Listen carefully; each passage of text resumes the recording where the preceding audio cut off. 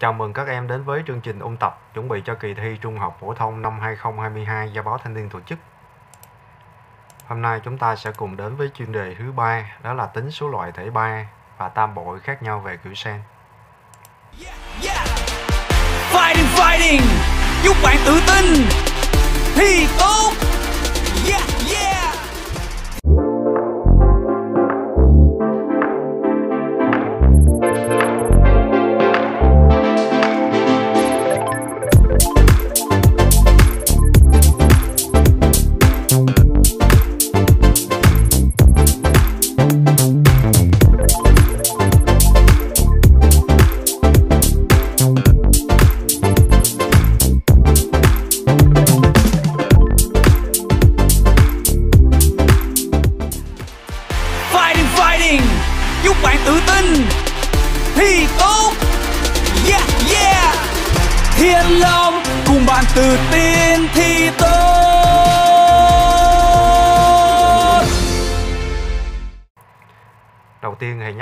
Thể ba và tam bộ là gì?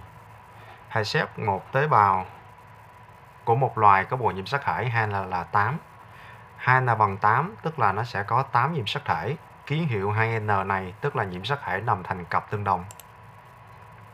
Như vậy sẽ có 4 cặp như trên màn hình mấy em thấy. Gọi là cặp nhiễm sắc thể tương đồng bởi vì chúng có hai chiếc nhiễm sắc thể giống nhau về hình dạng, về cấu trúc và về trật tự sắp xếp của các sen. Một chiếc có nhiễm sắc thể từ bố và một chiếc có nhiễm sắc thể từ mẹ. Các cặp nhiễm sắc thể tương đồng khác nhau sẽ có hình thái, cấu trúc, trật tự sắp xếp của các sen khác nhau. Thể 3 là hiện tượng một cặp nhiễm sắc thể nào đó có 3 chiếc. Hệ lúc đó số lượng nhiễm sắc thể sẽ tăng lên nên ký hiệu thể 3 là 2n cộng 1. Cụ thể trong trường hợp này 2n bằng 8 thì 2n cộng 1 sẽ bằng 9. Và thể 3 thì có thể ở cặp số 1 có 3 chiếc, hoặc là cặp số 2 có 3 chiếc, hoặc là cặp số 3 hoặc là cặp số 4. Có 3 chiếc, các cặp còn lại có 2 chiếc bình thường thì đó là thể 3. Vì vậy, nếu đề hỏi các em xác định số loại thể 3 khác nhau về nhiễm sắc thể, tức là chỉ quan tâm các thể 3 này khác nhau về nhiễm sắc thể mà thôi. Thì lúc này chúng có n cặp nhiễm sắc thể tương đồng, chúng sẽ có n loại thể 3 khác nhau về nhiễm sắc thể. Còn thể tam bội là tất cả các cặp nhiễm sắc thể đều có 3 chiếc, ký hiệu là 3n. Trong trường hợp này 3n sẽ là 12. Đó là thầy ôm lại về thể 3 và thể tam bội. Bây giờ chúng ta sẽ cùng hình thành công thức tính số loại thể 3 khác nhau về kiểu sen. Bây giờ thầy xét một locus sen có hai len là A lớn A nhỏ. Locus sen là vị trí của sen trên nhiễm sắc thể mà thôi.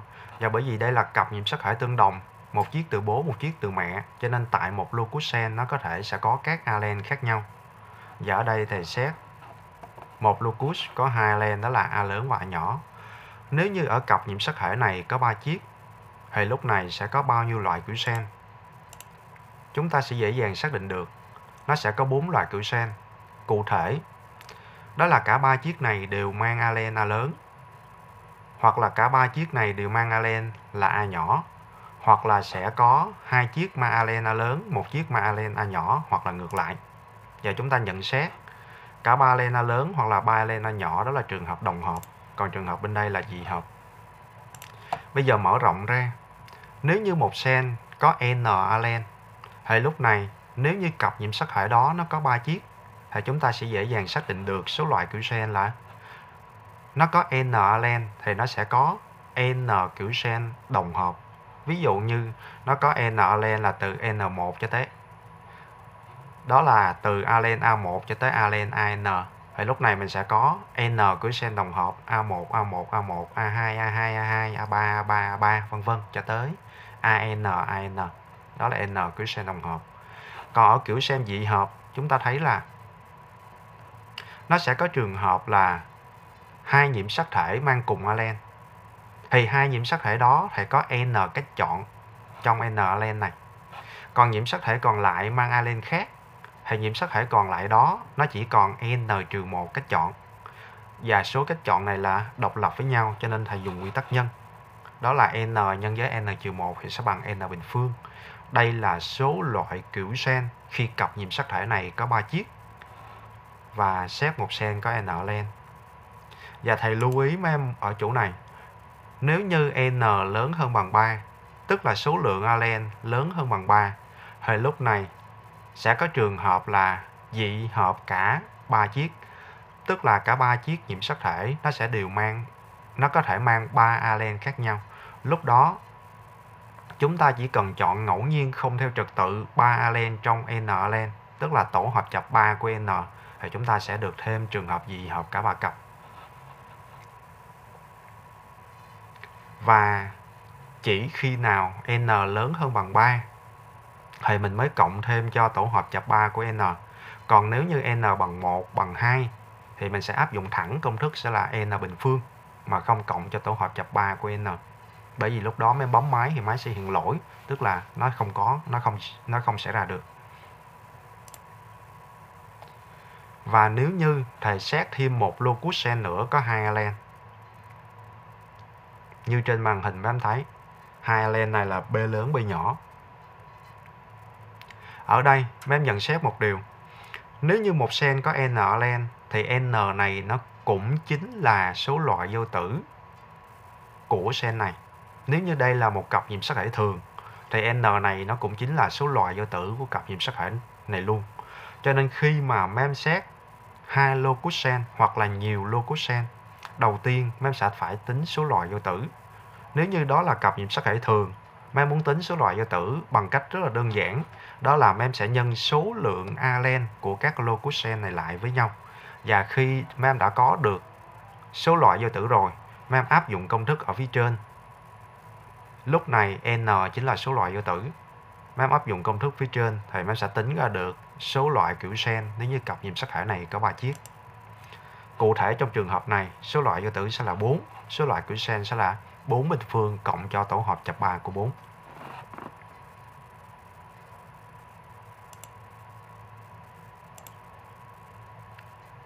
Thầy đã hướng dẫn mấy em cách hình thành công thức nếu như mà cặp nhiễm sắc thể này có 3 chiếc. Thể 3 là một cặp nào đó có 3 chiếc, các cặp còn lại có 2 chiếc. Để xác định số loại thể 3 khác nhau về cửu sen, ngoài chuyện chúng ta phải tính số loại cửu sen ở cặp có 3 chiếc này, chúng ta cần phải xác định số loại cửu sen ở những cặp có 2 chiếc. Bây giờ thầy sẽ hướng dẫn mam hình thành công thức nếu như cặp nhiễm sắc thể này có hai chiếc thì sao? Bây giờ thầy xếp một locus có hai len là dây lớn dây nhỏ và nếu cặp này có hai chiếc thì chúng ta sẽ dễ dàng xác định được nó tạo nên ba loại cửu sen đó là dây lớn, dây lớn, dây nhỏ dây nhỏ tức là cửu sen đồng hợp và dây lớn dây nhỏ tức là kiểu sen dị hợp. Tương tự, bây giờ mở rộng ra. Nếu như thầy xét một sen có n len thì cũng như vậy. Nó sẽ tạo nên được n kiểu sen đồng hợp và kiểu sen dị hợp thầy chỉ cần chọn ngẫu nhiên không theo trật tự hai alen trong n len thì thầy sẽ được một kiểu sen dị hợp cho nên số loại kiểu sen dị hợp sẽ là tổ hợp chập 2 của n như vậy thầy đã hướng dẫn em hình thành công thức xong để mà xác định số loại kiểu sen của một cặp có 3 chiếc hay là một cặp có hai chiếc mấy em hình dung thể 3 là trường hợp một cặp nhiễm sắc thể nào có 3 chiếc các cặp còn lại có hai chiếc cho nên để xác định số loại thể ba khác nhau về kiểu sen, đầu tiên mình phải làm trên từng cặp. Tức là bây giờ bộ nhiễm sắc thể lưỡng bộ là 2N thì nó sẽ có N cặp khác nhau. Mình sẽ làm trên từng cặp từ cặp số 1 cho tới cặp N. Nếu như cặp số 1 có 3 chiếc, các cặp còn lại có hai chiếc, mình tính số loại của sen ra rồi mình nhân lại. Bởi vì các cặp nhiễm sắc thể tương đồng khác nhau sẽ phân ly độc lập với nhau. Mình sẽ dùng quy tắc nhân. Sau đó mình làm trên trường hợp là thể 3 ở cặp số 2, thể 3 ở cặp số 3, vân vân cho tới thể 3 ở cặp số n. Rồi sau đó mình sẽ cộng lại. Bây giờ thầy sẽ đi vào một dạng một bài tập cụ thể cho mấy em dễ hình dung. Đây là đề chính thức năm 2014. Đề cho mình là một loài thực vật có bộ nhiễm sắc thể 2N bằng 6. Trên mỗi cặp nhiễm sắc thể, xét một sen có 2 len Do đột biến trong loài đã xuất hiện ba dạng thể 3 tương ứng với các cặp nhiễm sắc thể. 2n là 6 thì nó sẽ có ba cặp nhiễm sắc thể tương đồng. Và ở đây đề cho mình là xuất hiện ba dạng thể 3 tương ứng, tức là đã cho mình số loại thể 3 nó đã xuất hiện là tối đa. Và đề hỏi là theo lý thuyết các thể ba này có tối đa bao nhiêu loại kiểu sen về các sen ăn xét. Ở đây là đề quan tâm về loại kiểu sen rồi. Để có được thành công như hôm nay, tôi đã có những ước mơ và tôi đã hiện thực hóa ước mơ của mình bắt đầu từ trường đại học quốc tế Sài Gòn SIU. Đào tạo đa dạng, đa lĩnh vực, SIU mở ra cho chúng tôi nhiều cơ hội lựa chọn nghề nghiệp trong tương lai. Tất cả sinh viên đều có cơ hội để thể hiện và phát triển năng lực. Những ý tưởng luôn được khuyến khích và phát huy tối đa. Chúng tôi đã được truyền cảm hứng, tiếp thêm sự tự tin. Chúng tôi được học cách học, cách nghĩ và cách sống một môi trường lý tưởng để sáng tạo, để trải nghiệm, để thử thách bản thân đã giúp chúng tôi trưởng thành và thành công như hôm nay. Hiện đại, năng động và hòa nhập quốc tế nhưng vẫn giữ được bản sắc dân tộc. Đó là triết lý giáo dục mà Đại học Quốc tế Sài Gòn SIU luôn hướng đến. Đã đến lúc vươn xa hơn những gì đã học.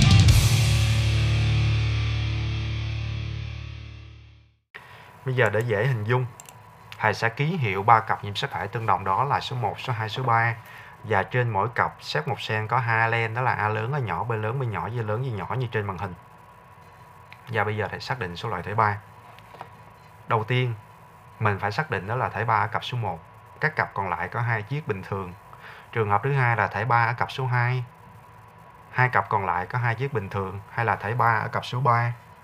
Hai chiếc còn lại có hai chiếc bình thường. Trước tiên là thể 3 cặp số 1. Nếu cặp số 1 có 3 chiếc, cặp số 1 chỉ có 2 allen thôi, cho nên số loại kiểu sen sẽ là hai bình phương. Cặp số 2 này nó có 2 chiếc, nó có 2 allen thì công thức sẽ là 2 cộng cho tổ hợp chập 2 của 2 tức là 3. Tương tự cặp số 3 này có 2 chiếc, cũng có 2 allen. Thì số loại của sen sẽ là 2 cộng cho tổ hợp chập 2 của 2 là 3. Mà em nhân lại thì sẽ được 36 loại kiểu sen. Map nhận xét là nếu như thể 3 ở cặp số 2 và thể 3 ở cặp số 3 cũng sẽ tương tự như vậy. Bởi vì trên mỗi cặp nhiễm sắc thải tương đồng, mình chỉ xét, mình đều xét một sen có hai len hết thôi. Cho nên, đáp án của câu này, số loại thể 3 tối đa khác nhau về kiểu sen. Mình chỉ cần lấy số loại thể 3 trên một cặp là, tức là 36. Mình nhân lên cho 3 thì sẽ là 108. Đáp án là câu D.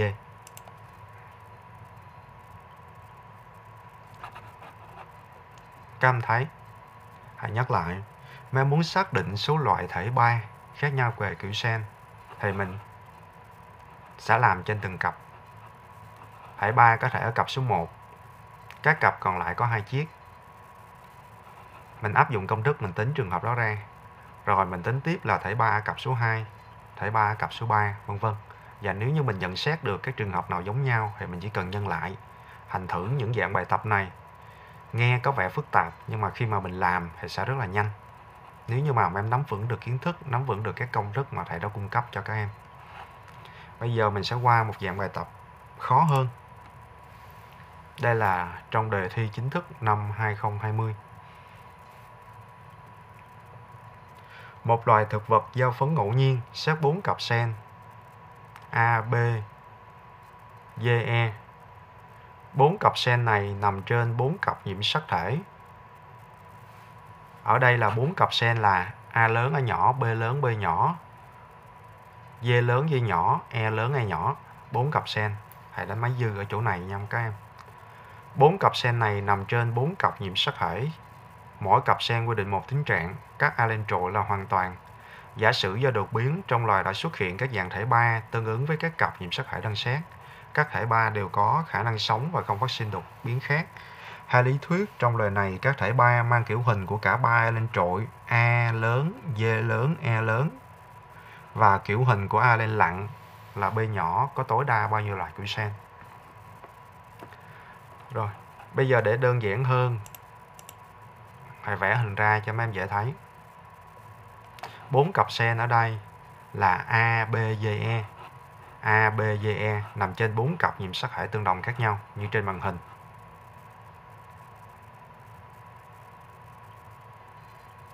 Và đề yêu cầu mình tính đó là thể 3 mang kiểu hình của ba loại alen trội, tức là A lớn gạch, E lớn, D lớn gạch và E lớn gạch. và kiểu hình của alen lặng tức là B nhỏ B nhỏ hoặc là cả ba chiếc B nhỏ nếu như nó là thể ba thì có tối đa bao nhiêu loại quy sen ở đây chúng ta cũng làm lượt lượt từ từ thể 3 ở cặp số 1, số 2, số 3 hoặc là thể 3 ở cặp số 4. Chúng ta cùng làm. Nếu như thể 3 ở cặp nhiệm sắc thể mang sen A lớn A nhỏ, tức là thể 3 ở cặp số 1 này.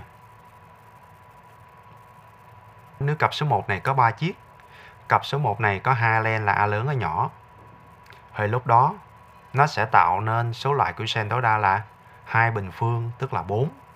Và ở đây người ta yêu cầu mình là người ta quan tâm tới kiểu hình A trội mà thôi. Mấy anh thấy trong bốn loại kiểu sen này, cụ thể đó là cả ba chiếc A lớn, hai chiếc A lớn, một chiếc A nhỏ, một chiếc A lớn, hai chiếc A nhỏ và cả ba chiếc A nhỏ. Mấy em sẽ dễ dàng thấy được trong bốn loại kiểu sen này.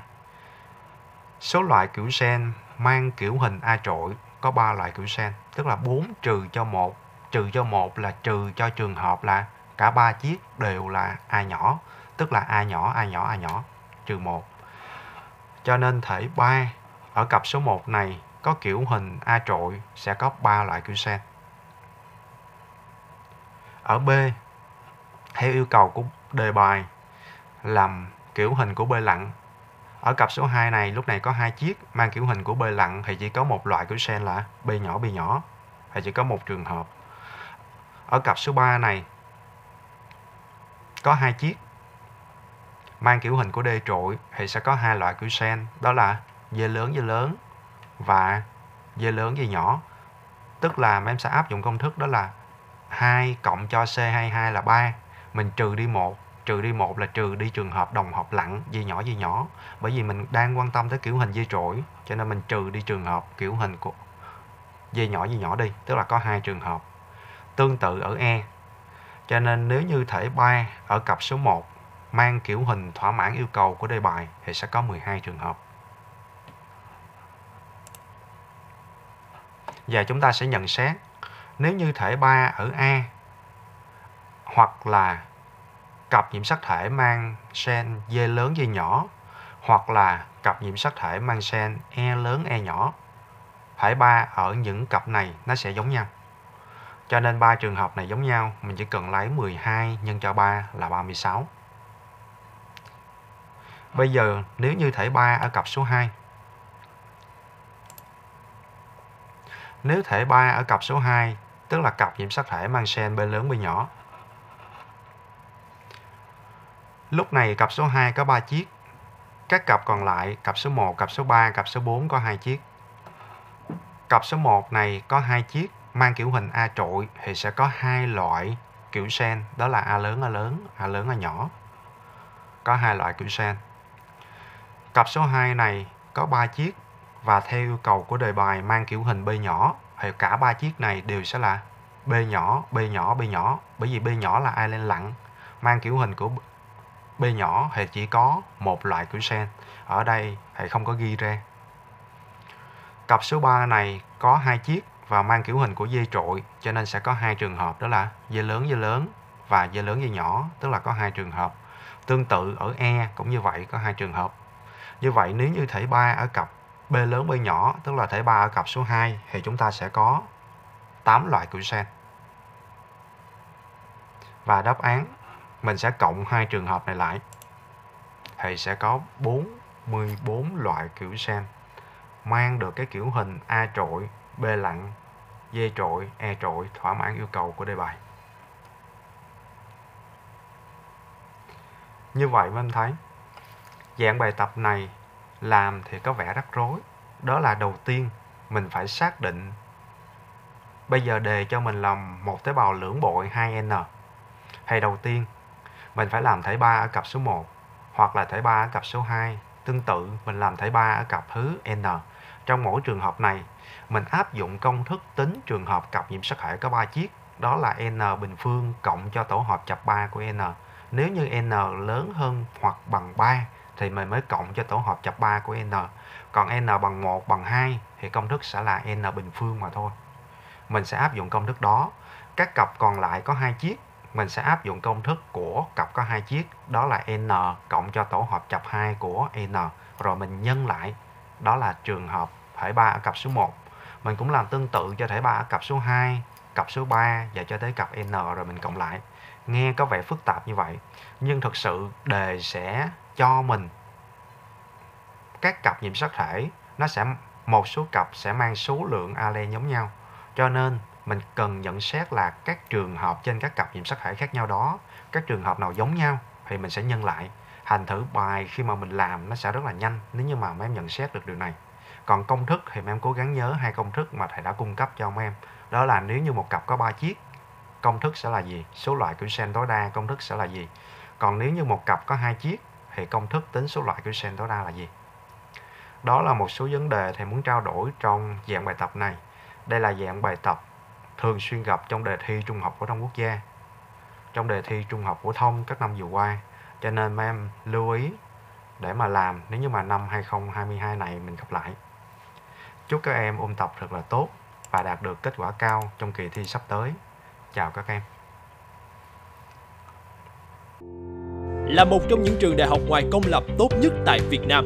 Trải qua hơn 23 năm thành lập, trường đại học Nguyễn Tất Thành tự hào mang đến cho người học những chương trình giảng dạy chất lượng được cộng đồng trong nước và quốc tế đánh giá cao với 14 lĩnh vực đào tạo đa ngành đa bậc học. Với triết lý đào tạo, thực học, thực hành, thực danh, thực nghiệm, nhà trường luôn liên tục cập nhật và nâng cấp trang thiết bị hiện đại nhằm tăng cường trải nghiệm đối với người học. Chất lượng đào tạo trường đại học Nguyễn Tất Thành được các tổ chức kiểm định trong nước và quốc tế công nhận. Đơn cử 4 sao của tổ chức US Star Anh Quốc, 4 chương trình đào tạo đạt chuẩn kiểm định AUNQA, 3 chương trình đào tạo đạt chuẩn theo thông tư 04 của Bộ Giáo dục và Đào tạo, xếp hạng 4 sao theo hệ thống đối sánh giáo dục đại học UPM. Trong năm học 2022-2023, Đại học Nguyễn Tất Thành dự kiến tiến hành xét tuyển đại học chính quy theo 4 phương thức sau. Phương thức 1 xét kết quả thi tốt nghiệp trung học phổ thông năm 2022. Phương thức 2, xét tuyển học bạ trung học phổ thông đạt một trong các tiêu chí. Xét tổng điểm trung bình một học kỳ lớp 10, 11, 12 từ 18 điểm trở lên. Tổng điểm trung bình 5 học kỳ từ 30 điểm trở lên. Điểm tổ hợp các môn xét tuyển lớp 12 đạt từ 18 điểm trở lên. Điểm trung bình cả năm lớp 12 đạt từ 6.0 trở lên. Phương thức 3, xét kết quả bài thi kiểm tra đánh giá năng lực của Đại học Quốc gia Thành phố Hồ Chí Minh, Đại học Quốc gia Hà Nội. Phương thức 4, xét tuyển thẳng và ưu tiên xét tuyển theo dạng cử tuyển. Riêng với điều kiện xét tuyển các ngành sức khỏe áp dụng theo quy định về ngưỡng đảm bảo chất lượng đầu vào của Bộ Giáo dục và Đào tạo. Để biết thêm thông tin chi tiết, vui lòng truy cập website ntt.edu.vn hoặc liên hệ trực tiếp qua số điện thoại 1900 2039. Đại học Nguyễn Tất Thành, đoàn kết hội nhập, năng động, trí tuệ, trách nhiệm.